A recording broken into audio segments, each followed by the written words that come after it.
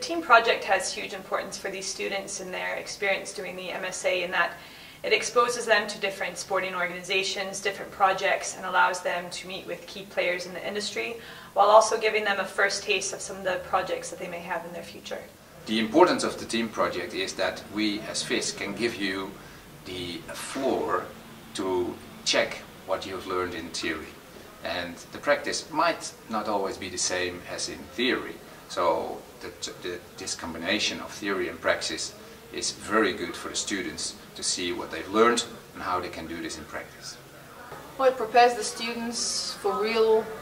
after uh, program work life because uh, the projects that we propose to them are the projects that are on our plate at this time so it gives them a good, a good insight into uh, first of all the topics that we work on it gives us insight into how our organizations function. It gives them insight into um,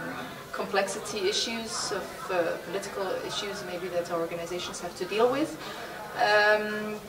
it's it's um, a real uh, case study, but a practical case study, not over out of a textbook, but really uh, something that they get to work with and, and, give us feedback so they can actually uh, feel what it means uh, as if they were working on it as, a, as an employee.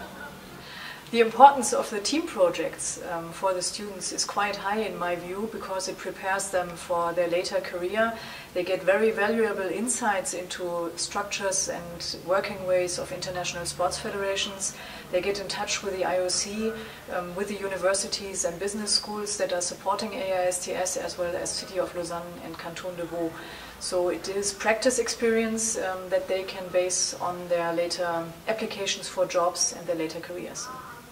I think it is important for the students to be uh, involved in a team project that's with a real life client because it uh, exposes them to uh, real life situations within sport organizations.